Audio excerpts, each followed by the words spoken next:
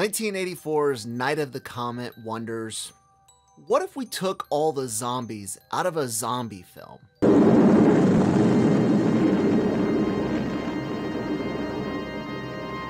Night of the Comet stars Kelli Maroney as Samantha. Her sister Regina is played by Catherine Mary Stewart, and Robert Beltran plays Hector Gomez. So the movie centers on the Belmont sisters. They're not as cool as the Castlevania Belmonts. These two are most famous for dancing in a mall.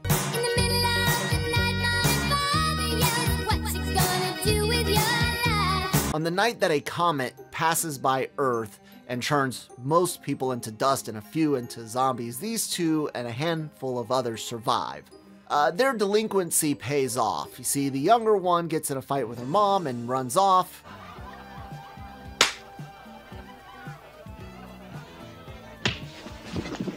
The other one's busy banging some deadbeat in a projection room. Superman can see through steel. No, it's one thing you cannot see through. That's lead, you nerd. Lead? Yeah. Also surviving is a truck driver, Hector, and a bunch of people in a lab who are in search for other survivors to draw blood from to stave off their own transformations. It's not really a good movie. There really is a limited amount of zombies. The makeup and effects on the zombies are not that great either. See, You wouldn't believe what we want from you.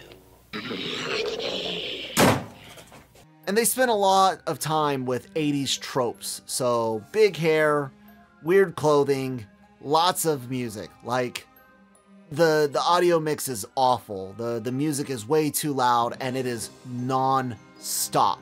I just had it out with Doris once and for all. You can't get anybody on the phone because everybody's gone.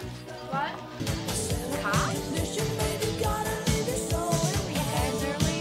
Literally, we spend most of the movie with the two sisters arguing over which one of them is going to get to bang Hector. Weirded out? Oh, right, Reg. Why should I be weirded out? My sister, who swiped every guy I ever had my eye on, has now swiped the last guy in the whole freaked out world. Eventually, the scientists track down this small group of survivors in the city, allege one of them can't be saved and will transform, I don't have to see the results of the blood test. I can guess what they say about that one. so they kill her and take the older one to the lab to be drained. Are you pregnant? nope. Thought I was once, though. It's not important. That's what you think. That was the longest three weeks of my life. Of course, the heroes have to survive, so the girls both end up being fine, both end up at the lab, both end up escaping the lab with Hector's help, and uh, then they blow up some halfway turned scientist zombies. Is that gasoline I smell?